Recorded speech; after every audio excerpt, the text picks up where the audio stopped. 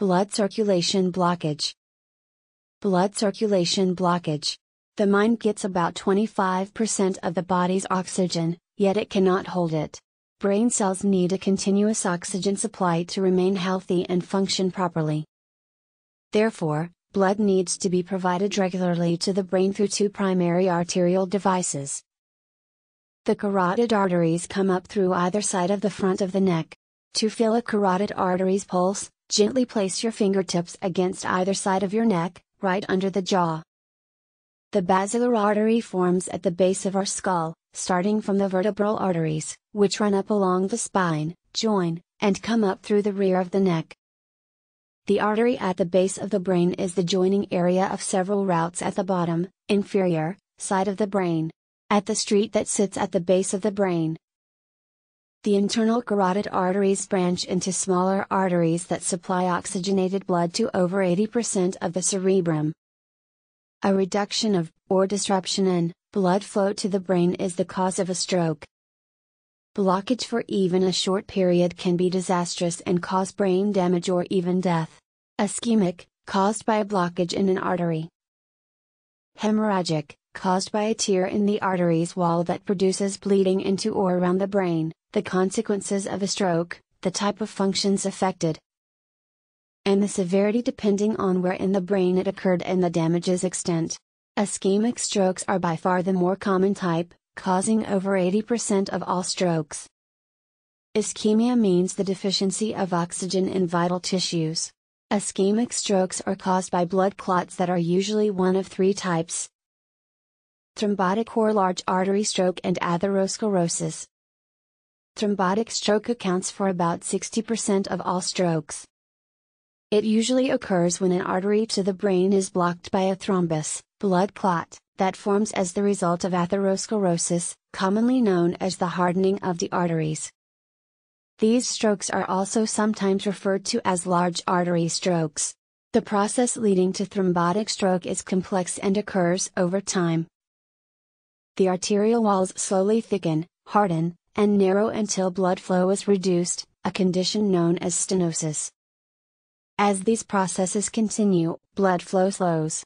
In addition, other events contribute to the coming stroke, the arteries become calcified, lose elasticity, and become susceptible to tearing. In this event, the thrombus, blood clot, forms. The blood clot then blocks the already narrowed artery and shuts off oxygen to part of the brain. A stroke occurs. Embolic strokes and atrial fibrillation. An embolic stroke is usually caused by a dislodged blood clot that has traveled through the blood vessels, an embolus, until it becomes wedged in an artery. Embolic strokes may be due to various conditions.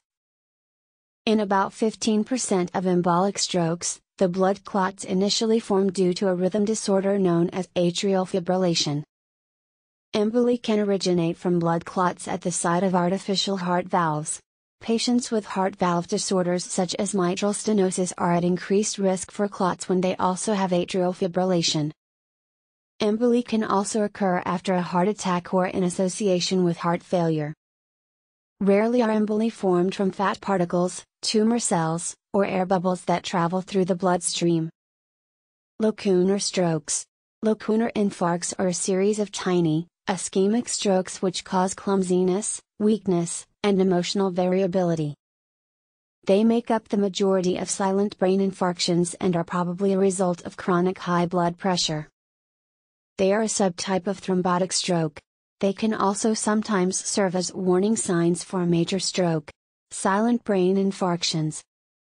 Many elderly people have silent brain infarctions, small strokes that cause no apparent symptoms. They are detected in up to half of elderly patients who undergo imaging tests for problems other than stroke. The presence of silent infarctions indicates an increased risk for future stroke and is often a contributor to mental impairment in the elderly. Smokers and people with hypertension are at particular risk. Transient ischemic attacks, TIAs, a transient ischemic attack, TIA, is an episode in which a person has stroke like symptoms for less than 24 hours, usually less than 1 to 2 hours. Transient ischemic attacks, TIAs, are caused by tiny emboli, clots often formed of pieces of calcium and fatty plaque, that lodge in an artery to the brain. They typically break up quickly and dissolve, but they do temporarily block the supply of blood to the brain. A TIA is often considered a warning sign that a proper stroke may happen in the future if something is not done to prevent it. TIA should be taken very seriously and treated as aggressively as a stroke. Matthew, the video creator,